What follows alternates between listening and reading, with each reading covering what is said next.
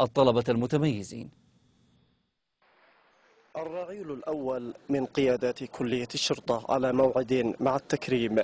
كبادرة إيجابية تقوم بها عمادة كلية الشرطة الحالية تقديرا لجهودهم ومكانتهم خلال مسيرتهم العملية في قيادة كلية الشرطة في إخراج ضباط مؤهلين بدرجة عالية من المهنية والكفاءة.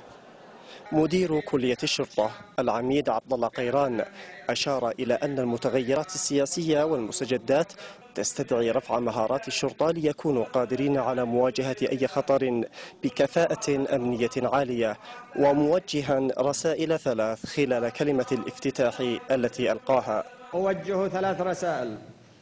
الأولى لكل الزملاء في المؤسسات الأكاديمية الأمنية والدفاعية.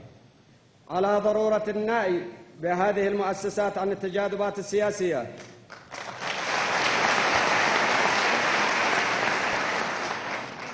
على ضرورة النأي بهذه المؤسسات عن التجاذبات السياسية والحفاظ عليها كمؤسسات وطنية محايدة. والثانية للأحزاب والمكونات السياسية للابتعاد بأنشطتها السياسية عن التأثير على دور هذه القلاع العلمية الوطنية التي تحتضن جميع أبناء الشعب دون تفرقة أو تمييز.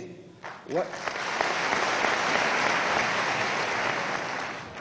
وتركها لتأدية الدور العلمي والوطني المقدس والمناط بها وأن يتقوا الله في هذا الوطن ويجنبوه الفتن ويحافظوا على الدم واللحمة اليمنية.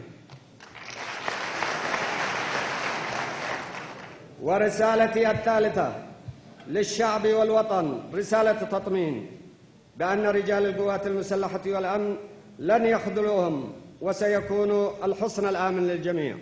وزير الداخلية في الحكومة المستقيلة اللواء الركن جلال الرويشان شدد هو الآخر على ضرورة النأي بالمؤسسات العسكرية والأمنية عن الصراعات السياسية مشيرا أن منتسبي الشرطة هم مهنيين للوطن كله ومنوها في كلمته ببعض الإجراءات التي ستتخذها قيادة الوزارة وعمادة الشرطة خلال المرحلة المقبلة. نعد إن شاء الله بالمضي قدما في استقبال الدفعة القادمة في عدن وفي صنعاء. وستكون هذه الدفعة آه، في كلية الشرطة في عدن وفي كلية الشرطة في صنعاء. وستلتزم الكليتين في عدن وصنعاء بنسبة التي نتجت عن المؤتمر الحوار الوطني وهي 50% من الشمال و50% من الجنوب. المكرمون أشادوا بهذه اللفتة مشيرين إلى أنه يأتي في زمن يتعرض فيه منتسبو الجهاز الأمني لاعتداءات واغتيالات متتالية من قبل قوى الشر والتطرف والإرهاب ومشددين على ضرورة أن يكون هناك برامج تأهيلية علمية وعملية لمنتسبي الشرطة. تأتي هذه اللفتة الكريمة للتذكر بالعطاء الأمني لبعض من عناصره ممن كان لهم شرف تنفيذ وإدارة مهام المؤسسات التعليمية وبالأخص كلية الشرطة في صنعاء وعدن.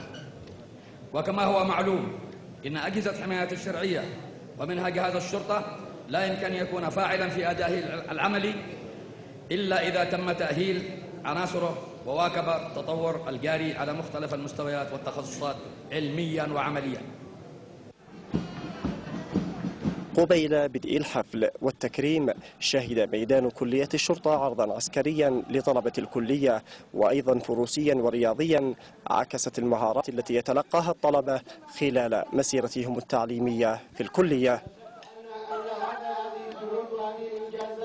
لم تأتي من